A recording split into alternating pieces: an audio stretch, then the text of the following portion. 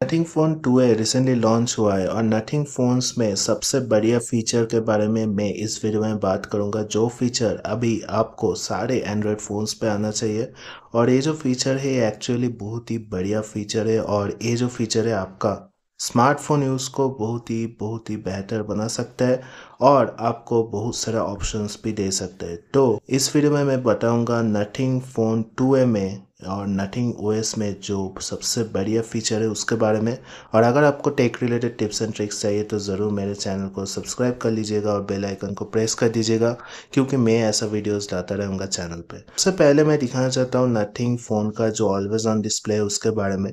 तो always on display में आप देख सकते हो सिर्फ़ टाइम डेट और डे नहीं दिखाता है, और भी बहुत सारा ऑप्शन दिखाता है, जैसे आपका कॉम्पस आपका ग्लिफ लाइट्स और ये है आपका फ़ोन यूसेज तो आप इधर से लॉक स्क्रीन से बिना अनलॉक किए हो फ़ोन का जो यूसेज है, कितना टाइम तक यूज़ किया वो देख सकते हो। और ये एक्चुअली ऑलवेज ऑन डिस्प्ले में भी दिखाता है। तो ये सबसे बढ़िया फीचर है आई थिंक ओ का। और इसको कैसे एक्टिवेट कर सकते हैं और क्या क्या आपका कस्टमाइजेशन ऑप्शंस मिलते हैं, उसके बारे में हम लोग देख लेते हैं। सबसे पहले नथिंग फ़ोन जब अनलॉक करोगे तब आपको जाना है सेटिंग्स में। और सेटिंग्स में जाने के बाद आपको बहुत सारा ऑप्शंस मिल जाएगा।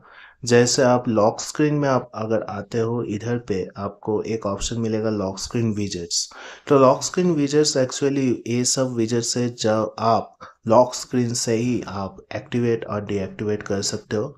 तो मैं इस विजेट्स को एनेबल करके रखा हूँ। अगर मैं इसमें कोई भी विजेट्स को रिमूव करता हूँ और इतने सारे विजेट्स मुझे मिल जाएगा, जैसे मैं फ़ोटोज़ को भी विजेट्स में ऐड करके रख सकता हूँ और मुझे इतना सारा शॉर्टकट मिल जाएगा, जैसे कॉम्पस हो गया टॉर्च हो गया एरोप्लेन मोड हो गया क्विक सेटिंग्स हो गया।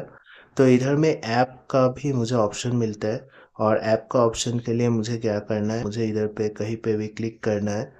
और क्लिक करने के बाद मुझे इतना सारा ऑप्शंस मिलेगा। जैसे मैं ब्लूटूथ को एनेबल डिजेबल कर सकता हूँ बैटरी सेवर को भी कर सकता हूँ glyph lights do disturb mode को कर सकता हूँ अलार्म को कर सकता हूँ, और भी बहुत सारे ऑप्शन है। और ऐप्स में music visualisation health connect storage focus mode सारे के सारे ऑप्शंस मुझे मिलता है। जैसे अभी के लिए ऑटो रोटेट को मैं इसमें ऐड करता हूँ, और मैं लॉक स्क्रीन पे जाता हूँ। लॉक स्क्रीन पे जाने पे देख सकते हो ऑलवेज ऑन डिस्प्ले में भी मुझे ये सब ऑप्शंस दिख रहा है और डायरेक्ट मुझे इन्फॉर्मेशन भी दिख रहा है। मुझे अगर ऑटो रोटेट को एनेबल करना है तो मुझे क्लिक करना पड़ेगा और इधर टैप करना है। तो ऑटो रोटेट मेरा इनेबल हो गया ऑटोमेटिक और आप देख सकते हो पहले ये dotted line always on display में दिखा रहा था। जब भी मैं इनेबल किया, ये एक्चुअली फुल सर्कल हो गया है।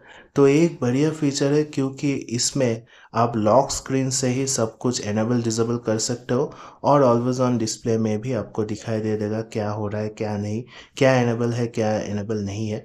जैसे मैं अगर डिजेबल कर देता हूँ तो फिर से मुझे डॉटेड लाइन दिखाई देगा। इसका मतलब ये ऑप्शन आपका डिजेबल है। मैं अगर फ़ोटो भी एक एनेबल करके आपको दिखा देता हूँ, क्या वो ऑलवेज ऑन डिस्प्ले में दिखाता है या नहीं तो फ़ोटो में लॉक स्क्रीन विजर्स में ऐड किया। और इधर में आप देख सकते हो, इधर में मुझे फ़ोटो जो है ऐड करने का ऑप्शन मिल जाता है।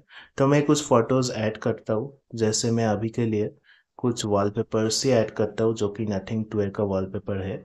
और ऐड करके मैं इधर इसको एनेबल कर देता हूँ। और अभी देखते हैं कैसे दिखता है। तो आप देख सकते हो ऑलवेज ऑन डिस्प्ले में भी ये फ़ोटो दिख रहा है। और मैं अगर चाहूँ तो फ़ोटोज़ को एक एक करके चेंज भी कर सकते हो और ये एक्चुअली ऑलवेज ऑन डिस्प्ले में दिखाई देगा। तो ऑलवेज ऑन डिस्प्ले में जो फ़ोटोज़ दिख रहा है, ये भी एक बढ़िया बढ़िया फीचर है और आप इसको एनेबल कर सकते हो नथिंग ओएस में। तो यही मैं दिखाने वाला था कैसे आप ऑलवेज ऑन डिस्प्ले को नथिंग ओएस में कॉन्फ़िगर कर सकते हो और ये फीचर नथिंग फ़ोन टू में भी ऑलरेडी अवेलेबल है। तो यही बोलकर मैं इस वीडियो को एंड करना चाहता हूँ। अगर आपको मेरा वीडियो अच्छा लगा है तो ज़रूर मेरे चैनल को सब्सक्राइब कर दीजिएगा और बेल आइकन को प्रेस कर दीजिएगा, क्योंकि मैं ऐसा वीडियोज़ लाता रहता हूँ चैनल पर। तो अभी के लिए बस इतना ही। आपका दिन शुभ रहा है।